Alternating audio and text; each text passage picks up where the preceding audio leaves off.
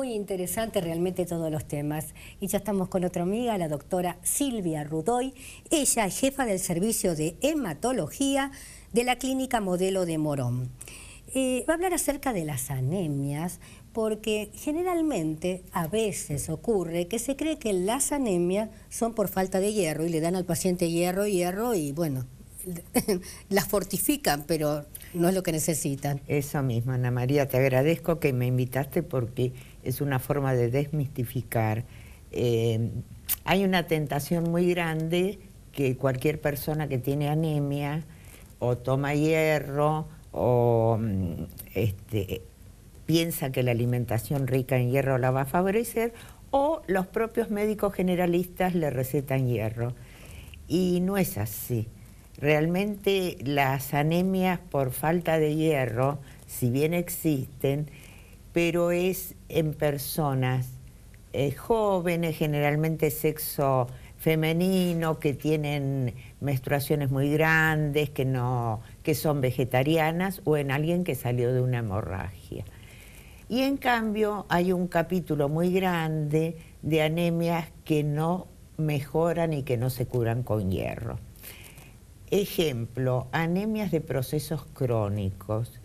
Si una persona tiene un proceso inflamatorio crónico, después los voy a detallar, pero puede ser en cualquier parte del organismo, el hierro no le falta, lo tiene y eso se puede demostrar por análisis de laboratorio que no son muy complejos. Las reservas de hierro, lo que llamamos la ferritina, está normal o alta. Lo que pasa que el hierro lo tiene acumulado en los depósitos. Hay unas células que se llaman macrófagos y que como macrófagos se tragan el hierro y no permiten la salida del hierro, no se moviliza por el proceso inflamatorio, porque hay una serie de intermediarios que se liberan, que son proteínas por el proceso inflamatorio, y ese hierro queda entonces la persona tiene, está bien o es rica en hierro y está anémica. Eh, ¿Qué es lo que ocurre eh, con ese tipo de anemias? Bueno, se pueden dar por eh, mala función de otros órganos. Por ejemplo, una persona que tiene una insuficiencia renal, que le funcionan mal los riñones, le ocurre esto una persona que tiene una mala función de la tiroides, también le ocurre esto. Y hay otro tipo de enfermedades crónicas, eh, tipo colagenopatías, por ejemplo, que también ocurre lo mismo. Entonces, una vez que desde el punto de vista médico, por un simple análisis, uno se asegura de que las reservas de hierro de esa persona no faltan, lo que hay que hacer es movilizárselo. Y para movilizarlo, ese hierro, y que vaya al lugar donde tiene que ir, que es a las células que forman los glóbulos rojos de la sangre. ¿Cómo lo movilizamos? Bueno, existe un producto que es símil de un producto natural que fabrican los riñones y que es la eritropoyetina. Este producto que se produce en la industria farmacéutica y que se administra por vía inyectable, no existe todavía la vía oral o bucal. Eh, se administra por vía inyectable que puede ser intravenosa o puede ser subcutánea. Habitualmente utilizamos la vía subcutánea. Esta eritropoyetina, eh, con cierta habilidad uno la dosifica según el caso, según de qué se trate, según hasta la edad, la superficie corporal, etc. Y entonces esas inyecciones subcutáneas, que tampoco se aplican diariamente, tienen la virtud que movilizan el hierro y esa persona supera la anemia. Bien, y por ejemplo, Silvia, tenemos un caso de una señora que nos llamó que explicaba que fue sometida a una eh, operación quirúrgica y en los prequirúrgicos le dio bajo el, eh, perdón, eh, anemia. Entonces, inmediatamente para prepararla para la cirugía, le dieron hierro, hierro bebible, hierro a través de la comida, etcétera, etcétera. Pero, bueno, eh, tuvo la suerte de encontrar a una buena hematóloga que le mandó el análisis es ferritina, dijiste, una ferritina, y la paciente tenía 170 de hierro, que es más de lo que le corresponde, ¿no es cierto? Entonces esta persona eh, comentaba, eh, ¿qué pasa con ese la cantidad de hierro que tengo de más? Porque mm. me la dieron. bueno, mira, eh, no es mucho, digamos. Yo te voy a decir, para, para ver la envergadura de, de las cifras, ¿no? El polo opuesto hay una enfermedad que es la hemocromatosis, que se da de vez en cuando, es genética, este, se dan las mismas familias eh, de origen europeo y sobre todo nórdicos, y mm, ya tienen un trastorno en un gen por el cual absorben demasiado hierro y acumulan demasiado hierro. Nosotros, eh, para actuar terapéuticamente por otro tipo de productos que les elimina el hierro, tiene que superar mil la cantidad de ferritina. Entonces ves que hay un margen muy grande. O sea, está alta, está elevada, pero si no pasa de mil, no vale la pena hacerle que se le puede, en ese caso, hacer sangrías, ¿no? O darle un medicamento.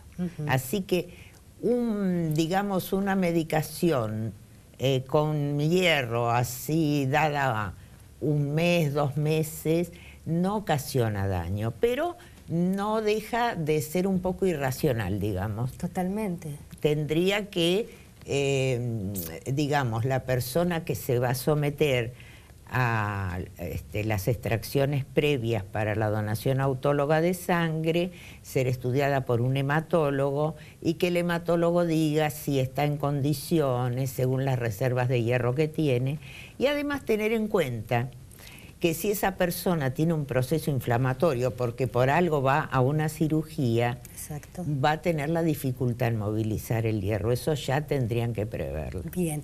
Y, eh, por ejemplo, ¿es cierto que las personas alrededor, eh, eh, llegando a los 60 años de edad, baja los glóbulos rojos? No. digamos que no. Como para este, que haya una anemia fisiológica de el adulto mayor no. Son ya eh, pequeños trastornos en la hematopoiesis, o sea, en la formación de los glóbulos rojos que se dan eh, con edad muy avanzada, digamos, arriba de los 80 años. Pero igual no es lo común. Es decir, uno ve gente de edad avanzada que si está en buen estado de salud no está anémica. Ahora, ¿cómo con el avance de la edad se puede deteriorar la función renal, al deteriorarse la función renal, baja ese producto que es la eritropoyetina endógena que todos fabricamos. Y al bajar ese producto, ahí sí puede haber anemia. Bien, la última pregunta. La persona que tiene talasemia o anemia del Mediterráneo, ¿debe recibir hierro? En principio está contraindicado. Ahora, ¿por qué? Porque no es un problema de hierro el de la talasemia.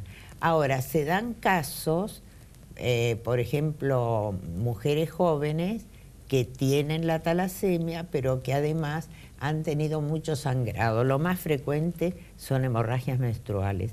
Entonces, ahí es una, lo que decimos nosotros, una patología mixta.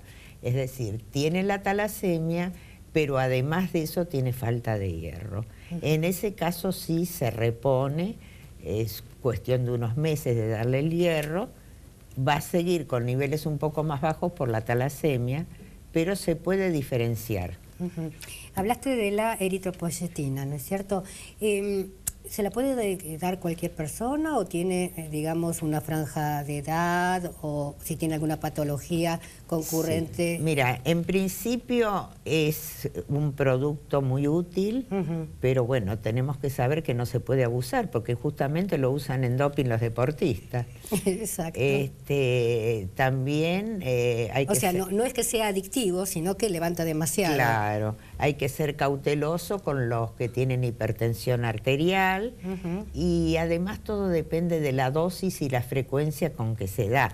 Yo te digo que la eritropoyetina se puede dar desde mil unidades hasta en estos momentos podemos llegar a dar 40.000 unidades, que es cuando eh, son enfermedades que falla la médula ósea, o sea, la producción de la sangre, y nosotros tratamos, se llama mielodisplasia, y tratamos de forzar un poco para que no esté tan anémico, y vamos subiendo la dosis de eritropoyetina, y hay gente que recibe 20.000 y 40.000.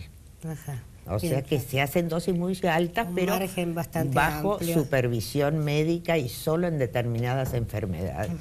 Es bueno que eh, realmente esto la gente, ¿no es cierto?, eh, lo, lo, pueda asimilar, porque, no sé... Eh, la idea de tomar hierro, estoy anémico y tomo varias amigas, ¿no es cierto? Mm. Estoy anémica, me dieron hierro. Mm. Y bueno, uno con lo que escucha y aprende de ustedes, digo, mira, hacete otro tipo de análisis, mm. pedilo, porque no todas las anemias llevan hierro. Así es por falta de hierro. Así no. Bien, eh, ahora vamos a hacer un corte y luego continuamos.